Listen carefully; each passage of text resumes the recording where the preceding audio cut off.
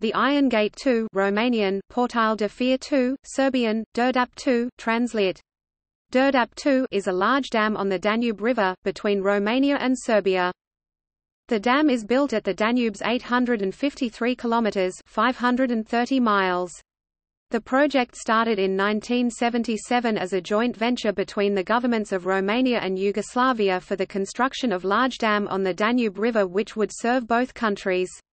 At the time of completion in 1984 the dam had 16 units generating a total of 432 megawatts, divided equally between the two countries at 216 megawatts each.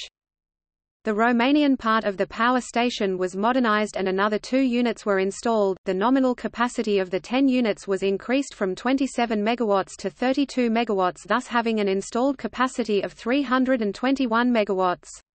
The Romanian side of the power station produces approximately 1.3 terawatt-hours per annum. The Serbian part of the power station currently has 10 units with a nominal capacity of 27 megawatts each and a total power generation capacity of 270 megawatts. The Serbian side of the power station produces approximately 1.31 terawatt-hours per annum.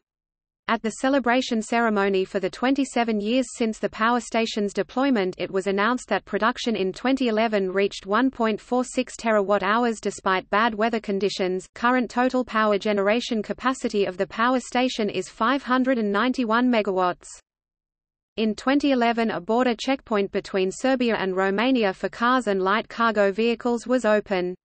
As of 2018 the Serbian side of the power plant is in the process of revitalization. When finished, the power of each aggregate will be lifted from 27 to 32 megawatts.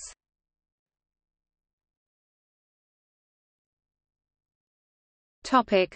See also